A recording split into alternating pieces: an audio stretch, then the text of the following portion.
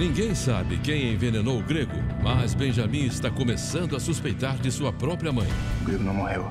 Ele vai querer se vingar. Se vingar de quem? Você sabe muito bem, Soraya. Hoje, I Love Paraisópolis.